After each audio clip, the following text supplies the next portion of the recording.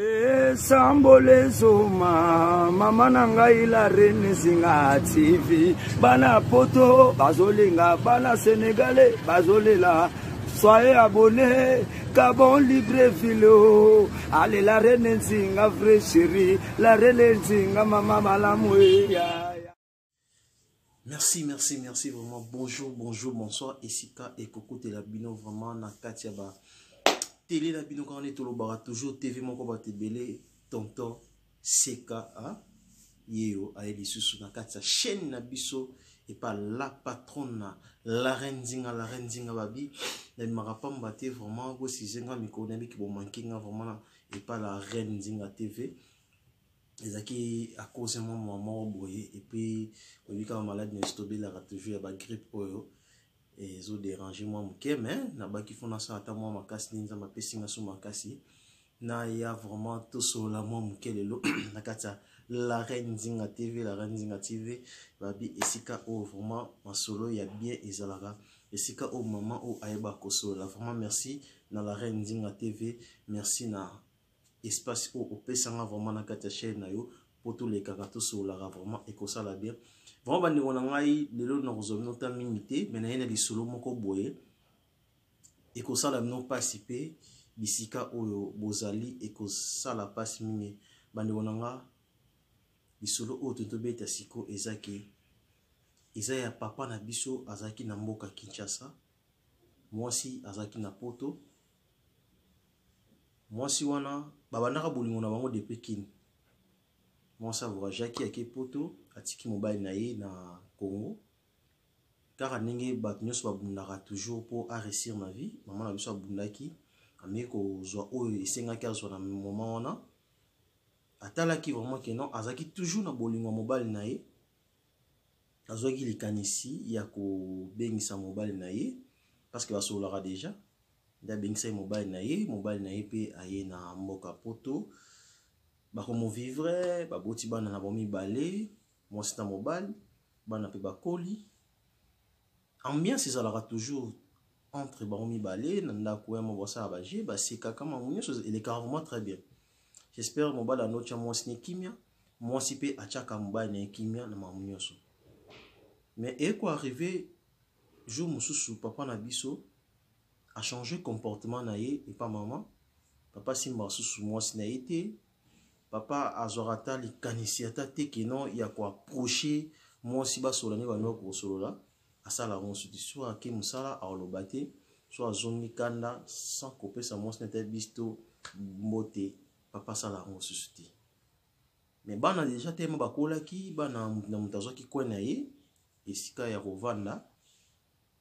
papa na mama batikalaki bango mibale batikali kocontinue vraiment vie na bango oyo esalaki mpasi na couple na biso eza ke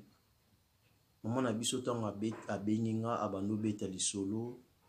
j'espère na banda olandela lisolo na ye calmement nalandi vraiment lisolo nde na bokebi nyonso tout ntango ayokoma na point oyo nga mpe na nakoma na bino nde epesaki vraiment mpasi makasi na bi nayebi te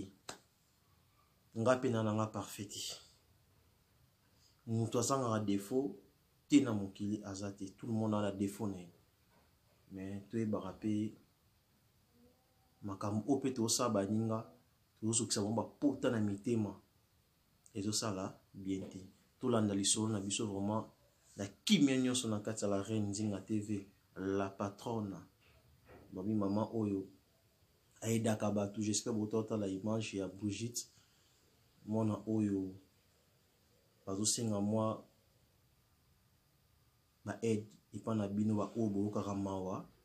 bomeko aide ye parce que faut baopere ba, ba colonne bomonaki mwana mwasi ya kitoko vraiment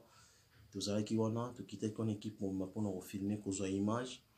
Yango totiaki yango na kati ya chaine na biso la reine Nzinga TV. Oyo atalaki te, soki ozongi vraiment oluki image okomona mama ye moko aza wana abandaki ko ko expliquer epuis image elekaki. Vraiment ba ndeko na biso oyo bozala mitema mawa ya kosunga, bosunga mwana wana. Maman na ye aza na besoin ya soutien na bino ekosala bien ya mwa mingi te ata ya moke kaka wana bokomona ba image wana bino moko ekosala bino vraiment pasi mingi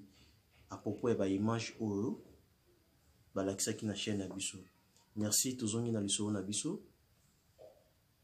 papa bani bafilme na ye na kati ya ndako bafilme ya papa bani na ndako eza nini papa afungisi facebook akoma kosalela facebook epuis azwa sonnerie na ye ya telefone atiango silencier eyokanaka te telefone bando osone telefone esonaka lisusu te ekomaka silencier na silencier mama monaka kaka telefone mingi epeli mais place amona te ke sonnerie sonne nini esone esonaka lisusu te nzoka papa akomosa ba recherche sur facebook atiaki siko foto ya mwana ya mobali Akutani na fillette moko ya kitoko je vous dire franchement mwana na aza kitoko makasi parce que te balakisi nga na foto na bino yango esalaki papa wana akweya tolanda lisolo ba mama papa komokomela la fille papa j'espère toyebi déjà ba, ba comportement ya, ya bato bazala boeskize nga baza bandeko na biso bacongolais congolaise ba biso pe ekomela biso pe ba temps moko boye omona okomeli moto aza na congo ntango amoni kaka ke non yo oza libanda ke ye amoni façon na yo kaka omona eh? balingaka kose lache mbala base lachaka plus vite par rapport ke non azotala ah nazwi ntango mosusu motu na ngai moko boye na sense wana Eko arrive sikoyo ba ndeko papa bayo lingana na la fille balingana na bango bakoma mpe kosala babolingo na bango basola toujours par message jour mosusu papa asengi mwana mwasi wana numero ya telefone aye apesi ye Bon, lisolo ti tobetela bino eza ndenge esalamaki wana mama moto aexplike ngai nde mobali na ye ntango akangi mobali na ye nde mobali na ye bandi koexplike ye ye kosala ke papa na biso to balingana na, na la, la fillette papa akoma kosenga mwana na bafoto boyebi deja bafoto oyo nakowana otangaka tangaka tangaka te ere nyonso boyebi mibali mingi bazalaka soki avandi omona tindela ngai nini oyo nasala nini eh, j'espère boyebi deja ntango mosusu mpo deja okwei na ka wana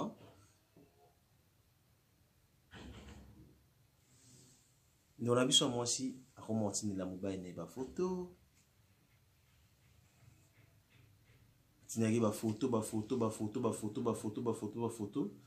jour mosusu papa avandi na mwasi ne na salon aokipe mwasi na ye te concentre na telefone mwasi mpe aokipe ne mobali te aotalaka Nzoka papa na biso ti azwaka temps ebele ya kovanda calme azoloba eloko te nzoka papa na biso atalaka nde ba photo ya mwana wana atindelaka ye esalaka papa bien ye mama ayebaka te mama oza na posa papa boye papa toujours raison non nazoka bien te ba debat moko inutile na kati ya chambre ntango so atomboki abimi akei Komulekela maman non mais comment fait tu que non mobali oyo nga na bala et pardon mobali oyo nazala ne na ndako awa tobotani bana tokosa pe bana na biso tozaka bien na ye puis tobandi ne awa te tobandi ne depuis Congo mais ndenge nini akoki kokoma na comportement ya mabe mamoko avers nga nasali ye nini mama bino aza mobali na nga fo nayeba nini oyo ezoleka ya mabe nga na mobali na nga tolanda lisolo na bokebi nyonso mama je mosusu avandisi mobali na bino papa bana soki nasali yo mabe yebisanga verite nayeba nini oyo ngai ya mabe nasali yo parceke ozolinga osantire nga te ndenge obanda osala mampa na nga olinga osala yango te baposa na nga olinga suki kokokisa yango te nayebaka te siko namisalaka nini nga moko ozolinga na babenga nga nani e, dede oza na posa nga mpe naluka mobali libanda to ndenge nini naza na ntan wana te mobali na nga eza yo esi osilisi abi ah nasisa ndenge nini azoba mobali na nga mobali atelemi akoti na chambre ndenge amesana parce que akomisa chambre nde esika na ye mama mpe avandi na ye esali ça fait en ça fait deux mois bazalaka matata ye na mobali na ye mobali alinga kosentir ye te papa mpe avandi mama mpe avandi ya mpe ah na oloba ya so eloko te mais mama akoma so alambi biloko atieli mobali na ye omwa mobali alingaka koliaka te Biloko evanda kaka bongo ekoma o déranger maman. Ah, mobali oyo eza nini? Mobali na nga azalaka boye te, mobali na nga changer mbala moko et puis toboti ne bana bakoli. Maman abi nini ya mabe nasali mobali na nga mpo ekoma na moment oyo mobali azoki kosentir nga te ekomisi na oloba na mobali likambo mobali azobeta nga kara nalamba natya biloko alingaka kolia te Vraiment boye na okoka lisusu te. Faut na tourner lisusu pour la deuxième fois parce que boye vraiment non non non franchement naza mutu nakomo suka. Maman Vanessa papa alobi naza poso yebisa nga verite. Nini oyo ezosala mabe epa na nga yo ozo me sentir nga te. Obosani na ata moke, obosani ba bienfait na nga, obosani nini tozalaki nga na yo. Subitement ochange, eloko etindi yo mpe ochange nazoyeba te. Soki na se comporte mal mpa na yo, yebisa nga naza mwasi na yo, nakochange. Parce que nga namoni mabe yo osali nga te. Nga naza bien na yo, mais yo ozolinga ozala bien na nga te, nasali yo nini? soki bana bazalaki ya olingo bana osala nga makambo oyo ezosala nga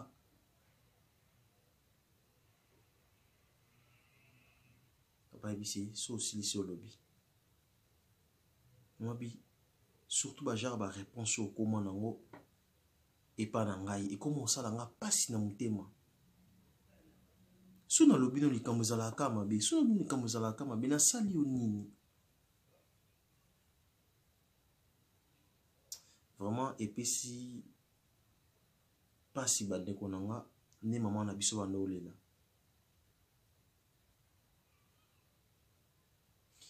eyoleka jour mosusu uh, mama na biso azali na mposa asala appel normal ye azalaki na crédit te na telefone na ye asengi sikoyo mobali na ye credit abi est ce que oko aide nga na credit nabenga motu mbala ebisi zwa telefone yango wana abi non eza na code apesi alongoli code mama mpe abengi alo euh, papapa mosola na motu wana osola na ye donc credit esili esprit ya mama etape na foto mobo ezalaki wana mama bino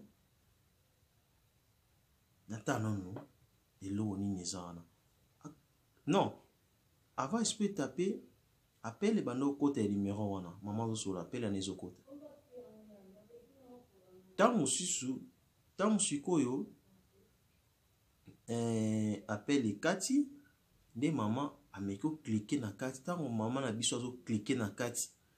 bamama na nga bapapa bayaya baleki banani Vraiment epesaki pasi. Nzoka papa na biso ti akipaka mwasi na ye te. Papa na biso ndenge abetaka mwasi na ye kara mama ebele. Papa koma kotala na ye ba biloko ya mitakala mwana na moke oyo ya kobota atindelaka papa na ba filme ba nini ba nini. J'espère maman alobaki eloko te, azongisaki telefone malembe, apesi ye, avandi calme. Jour mosusu mama na biso abimaki, mama ameki obima, azongi akuni ndako, hein? bizarre, comprendre ah Mobali na nga azalaki aki mama akiti na salle de bain ayoki son ya bato mibale baosolola mama komoya malembe malembe ayeba nani akoti na ndako nzoka mobali ya mama akende na salle de bain babengani apele video na mwana wana Nionso wana parce que atindelaki na mwana deja DC yango avant. Dès que mwana na baki akosala ye surprise. Dès que surprise mwana na baki akosala ye yango na bakende siko na salle de bain. Ba mwana ni mwana ngo mwana oyo akokobota.